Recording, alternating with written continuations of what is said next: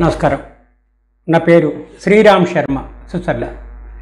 ఈరోజు ఈ వీడియో చేయడానికి ముఖ్య కారణం ఏంటంటే ధరణి పోర్టలు అని ఈ మధ్య తెలంగాణ రాష్ట్ర ప్రభుత్వం ఒకటి ప్రవేశపెట్టింది.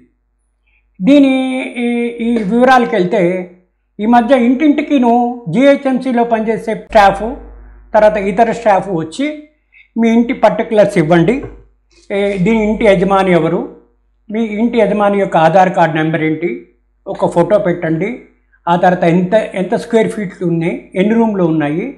ఈ ఇల్లు మీకు ఏ విధంగా సంక్రమించింది? అంటే దీని దీన్ని మీకు విల్ డ్యూట్ ద్వారా వచ్చిందా? సేల్ డ్యూట్ ద్వారా వచ్చిందా? ఫ్యామిలీ పార్టీషన్ డీడ్ ద్వారా వచ్చిందా?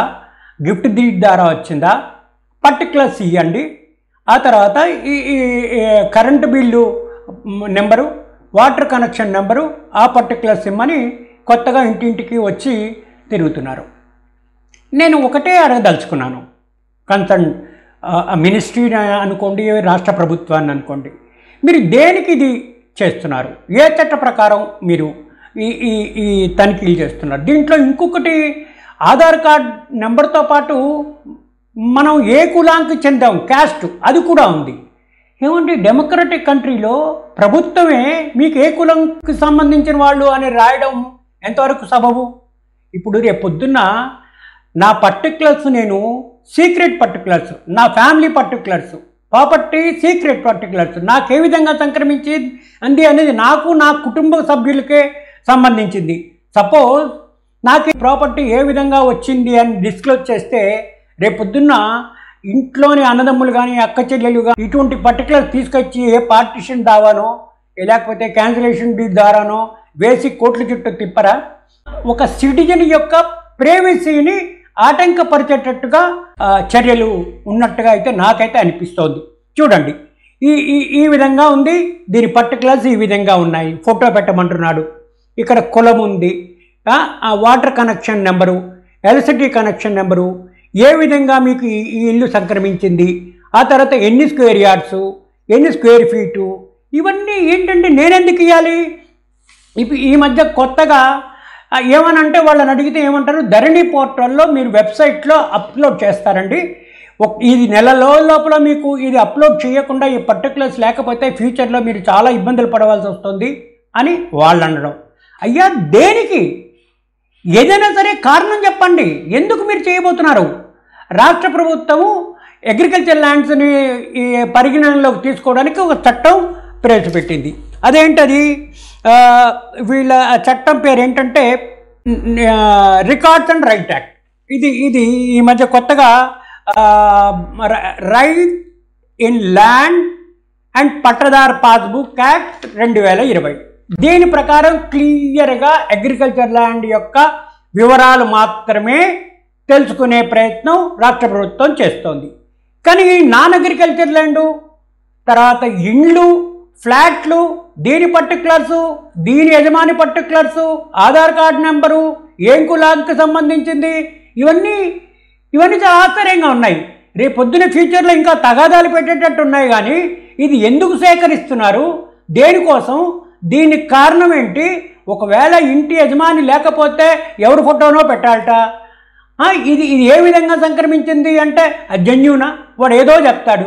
వాడు ఏదో చెప్తే తప్పు చెప్పామని చెప్పి వాడి మీద రేపు క్రిమినల్ చర్యలు తీసుకోవడానికి మీరు ప్రయత్నం చేస్తున్నారా? కాబట్టి అసలు యాజ్ పర్ ది చట్టం ఏంటి? Right in land and Pattadar passbook act రెండు వేల ఇరవై. క్లియర్గా చెప్తోంది. ఇది కేవలము వ్యవసాయ భూములకి త- సంబంధించిందే. నాన్ అగ్రికల్చర్కి సంబంధం లేదు. అదంత కుండ బదులు కొట్టినట్టు ఈ చట్టం చెప్తే మీరు జిహెచ్ఎంసీ స్టాఫ్ని వేరే వాళ్ళని ఇంటింటికి పంపించి ఇంటి యొక్క పర్టికులర్స్ ఇంటి యజమాని ఎవరు యజమానికి ఏ విధంగా సంక్రమించింది ఎన్ని ఫ్లోర్లు ఉన్నాయి పర్మిషన్ ఉందా లేదా కన్స్ట్రక్షన్ పర్మిషన్ ఉందా లేదా ఎన్ని ఎస్ఎఫ్టీలు ఉన్నాయి కరెంటు బిల్ నెంబర్ ఎంత వాటర్ బిల్ నెంబర్ ఎంత ఇవన్నీ ఇదేంటిది? ఇప్పటికైనా స్టేట్ గవర్నమెంట్ కళ్ళు తెరిచి ఇటువంటివి కాకుండా నాన్ అగ్రికల్చర్ కాకుండా అగ్రికల్చర్ అన్నారు కరెక్టే సరిగ్గా లెక్కలు లేవు. ఈ భూమి తగాదాలు వస్తున్నాయి.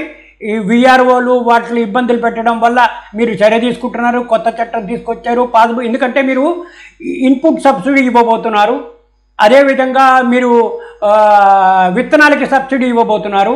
తర్వాత అగ్రికల్చర్కి మీరు ఏదైనా ప్రోడక్ట్ డబ్బులు ఇవ్వబోతున్నారు. కాబట్టి కంపల్సరీగా మీ డ్యూటీ ఎవరిది దీని యాజమాన్యం ఎవరి దగ్గరలో ఉంది ఇది ఎట్లా సంక్రమించింది అని కరెక్ట్గానే మీరు కావాలి. ఏమండి సిటీలో ఉండే మున్సిపల్ కార్పొరేషన్లో నివసించే మాలాంటి వ్యక్తుల దగ్గర వివరాలు అడిగితే మాకేంటి మాకేమి ఇస్తున్నారు? అరే మీరు ప్రాపర్టీ ట్యాక్స్ ఒక నెల నేను డిలే అయితే ట్యాక్స్లోని ఇంట్రెస్ట్ కూడా పీనల్ ఇంట్రెస్ట్తో కలెక్ట్ చేస్తారే? కరెంటు బిల్లు నేను ఒక వన్ వన్ మంత్ కట్టకపోతే వచ్చి పోల్ మేము ఇంట్లో లేకపోతే పోల్ పైకి ఎక్కి డిస్కనెక్ట్ చేస్తారే? ఒక్కసారి పాలకులు అర్థం చేసుకోవాలి దేనికి ఈ సర్వే చేయబోతున్నారు? దీని మెయిన్ ఏమి ఏంటి? దీనివల్ల వచ్చేది ఏంటి సిటిజన్కి ఏ విధంగా ఇది సహాయపడుతుంది? ప్రజల్లో చాలా డౌట్లు ఉన్నాయి దాన్ని నివృత్తి చేసే బాధ్యత సంబంధిత అధికారులది సంబంధిత ప్రభుత్వాన్ని కాబట్టి దయచేసి రాష్ట్ర ప్రభుత్వం ఈ సర్వే వల్ల లాభం ఏంటి? ప్రజలకు వచ్చేది లాభం ఏంటి? ప్రభుత్వానికి వచ్చేది లాభం ఏంటి? దయచేసి నివృత్తి చేయాలని రిక్వెస్ట్ చేస్తున్నాను. కాబట్టి దయచేసి సంబంధిత అధికారులు కానీ రాష్ట్ర ప్రభుత్వం కానీ కంపల్సరీగా ప్రజలందరికీ ఈ డౌట్లన్నీ నివృత్తి చేస్తే అందరూ ఆనందపడతారు అందరూ మీ దగ్గరికి వస్తారు అందరూ కోఆపరేట్ చేస్తారు ఈ సర్వేలో సహాయపడడానికి. కాబట్టి నా రిక్వెస్ట్ దీనివల్ల వచ్చే లాభం ఇవ్వండి ఒక ప్రశ్న ఒకటి ఇవ్వండి ఏ- చట్టం ద్వారా మీరు కలెక్ట్ చేయబోతున్నారు? ఏదో ఒక చట్టం ఉండాలా?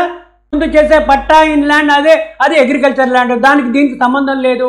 పోనీ అది అడ్డు పెట్టుకుని ఇది సర్వే చేయబోతున్నారా? తప్పు అది చేస్తే ఏ విధంగా చేయబోతున్నారు? కులం అని మధ్యలో తీసుకొచ్చారు. ఆధార్ కార్డు నెంబర్ ఇమ్మంటున్నారు. అమ్మా మా నా ఆధార్ కార్డు కాకుండా నా family member Aadhaar card number ఇమ్మంటున్నారు. మీకు తెలుసు. గౌరవ సుప్రీంకోర్టు క్లియర్గా చెప్పింది ఆధార్ నెంబరు కంపల్సరీగా అడగకూడదు అని. అయినా కూడా మీరు అడుగుతున్నారు దానికి విరుద్ధంగా. సుప్రీంకోర్టు జడ్జిమెంట్ని వయలేట్ చేస్తూ మీరు అడుగుతున్నట్టు కాదా? Is it not amount to content మీరు నన్ను ఫోర్స్ చేసి ఆధార్ నెంబర్ ఎందుకు అడుగుతారు?